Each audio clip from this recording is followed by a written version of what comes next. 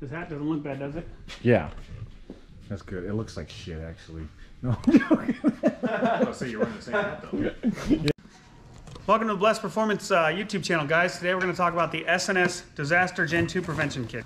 This kit is designed to protect the 6.7 Power Stroke from the CP4 failures that they all see.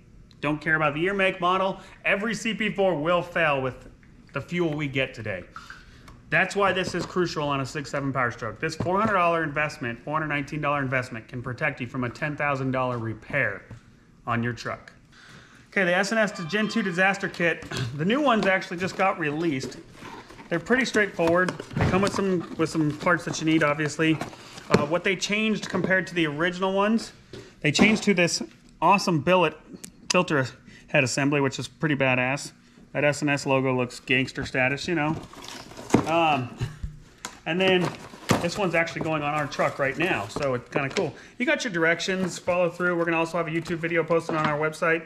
You guys can take a look at. Comes with your hoses, all the necessary hoses that you need. That comes with the hose for, this is 2011 to current 6.7 Power Strokes. The new ones come with all the hoses you need for every 6.7 Power Stroke ever produced. And you even get some cool little logos or stickers. Stickers, I mean, this on my truck, dude, I'm gonna make a thousand horsepower. Anyways, it's a pretty straightforward process. This is gonna go down into your into your CP4, and what the the concept is here is that this is going to protect the fuel going to the injectors plus the fuel on the return side.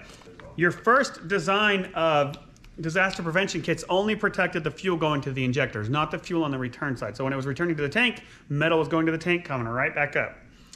This bad boy right here, for $419 and a couple hours of labor installed, can prevent metal from ever leaving when you do fail your CP4. It's not if, it's when. Some of them last 20,000, some last 280. Good rule of thumb is 125-ish. You better have this on by that point.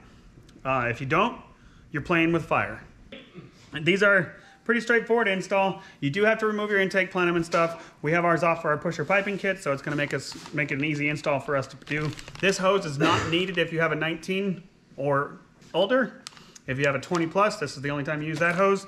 The rest of this stuff, you'll just get in there and get it installed. So